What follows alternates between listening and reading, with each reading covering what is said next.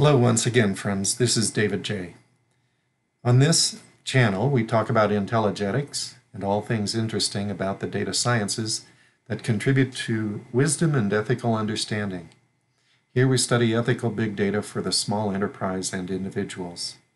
Attribution for citations and quotations is available separately.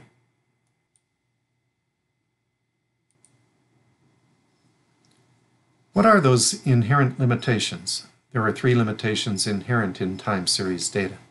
They are first, the lack of explicit causal linkage, second, the price bias, and third, the lack of volumetric economics.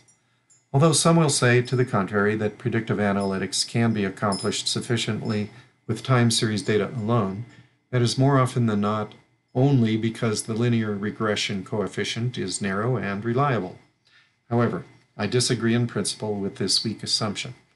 Firstly, causality in time series data is obscure and at best only implied at the time dimension. The implication is only that some causality is acting as time proceeds. That implicit causality of a multidimensional model may be understood by the observer, but only because they already possess other essential information about the functions accounted for and enjoy an understanding of causes demonstrating their effects in those time series events. However, the causal relationships are not intrinsically evident in the presentation of the time series data. Secondly, much but not all of the financial economic time series data you ordinarily find in business news and reportage of the values of securities is going to focus on prices. The underlying assumption of such time series data as many Wall Street analysts and business reporters attest, is that the price of a security over time, the values that buyers and sellers agree upon in the open market during a day, a week, a month, a year, encapsulate all the significance that you as a business person or investor or trader need to know. However, as a data scientist, I disagree. I contend that other fundamental atomic data is even more meaningful for descriptive and predictive analytics. Thirdly, in business economics fundamentals, no matter the industry, commodity, or product, the most essential atomic data a scientist or economist can study is the volume of the supply and the demand of individual closed transactions resulting from an offer and an acceptance at a specific price at a specific moment in time and marketplace. This data is very hard to come by because remember, the accountants and enumerators aggregate everything. Easier for them, more difficult for us. However, with the advancement of networking and computing technology, we now have tool sets at our disposal that can perform the work of analyzing vast numbers of these individual transactions, not only in the aggregate.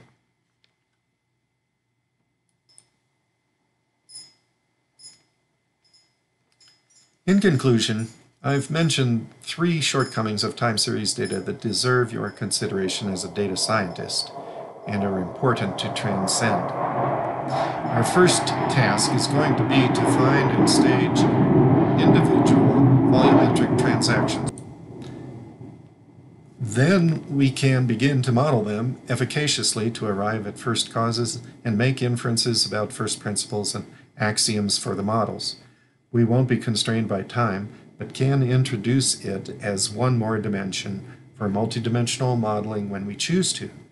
Advancing beyond the initial discovery of time, time series data requires hard work and research, but those are feasible, and you know you have the capacity for them.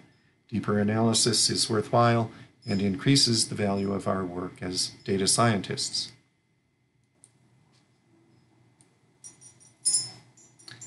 In a future chapter, I will discuss the challenges, value, and opportunities of individual, transactional, atomic, volumetric analytics with big data tools.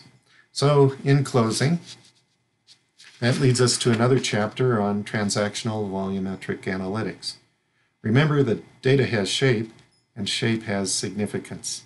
Until the next time, enjoy abundant results in all you do and all the best of all to you in all you do. This is David J. signing off.